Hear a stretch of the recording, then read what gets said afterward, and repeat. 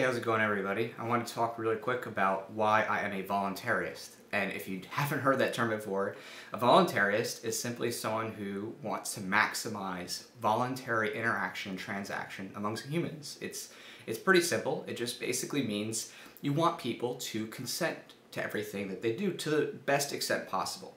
You know, nothing's ever going to be perfect. There are things like people who are children, you know, under the parents' care. There are people that have disabilities that are unable to function without the help of others. But the idea is, to the best extent possible, maximize freedom of choice. And also, within that context, maximizing this idea called the non-aggression principle.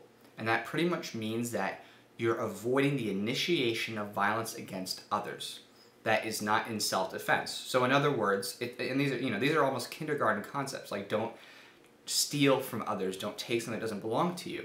Uh, the, the basic idea is you are abhorring and avoiding all initiations of violence. And uh, this could be as easy to see as, you know, you don't stab or punch somebody, or it could be a little bit more mysterious, such as taxes, which are monies taken from individuals at the threat of force just by existence, are morally wrong.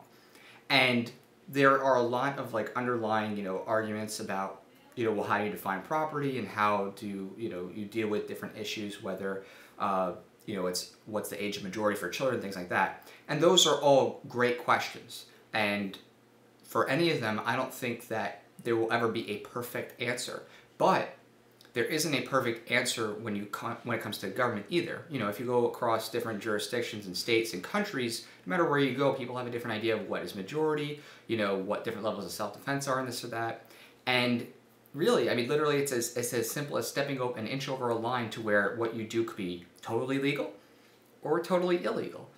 And so when you take a look at voluntaryism and compare it to what is, in other words, with governments and things like that, all it's saying is it's removing that initiation of force that, that is justified um, by the nature of, you know, a, a government's existence. In other words, people have to first actually consent to something before their persons, their bodies, their physical property is uh, just taken from them.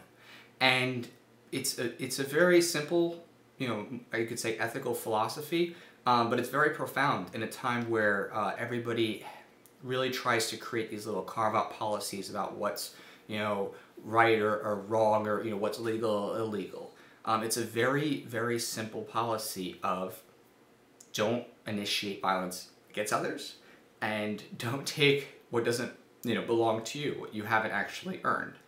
Um, and of course, again, I'm not. I don't want to oversimplify the under underpinnings, but I do want to say that it is a much more consistently applied philosophy than uh, what governments implement uh, when it comes to what you can or cannot have, or uh, what they can or cannot take away from you. And so it's a, in a sense, voluntaryism is a positivist philosophy. In other words, I try to argue to people or convince people of uh, the idea of the ideas of liberty. In other words, that liberty is a better way of existing, um, and getting people to subscribe to that, to these ideas of right to oneself, right to what one earns, um, the right to trade freely as long as you're not physically, you know, hurting somebody else. In other words, you're not, you know, going to stab somebody, you're not going to, you know, punch somebody, you're not going there and like pointing a gun at somebody's face and like talking about to, you know, shoot them or something like that.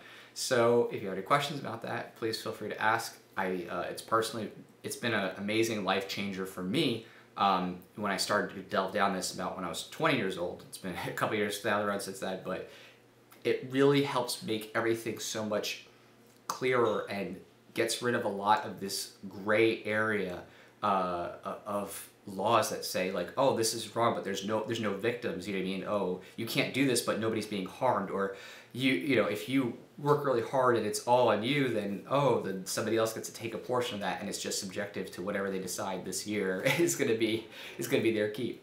So I hope that's encouraging, and I'll talk to you later.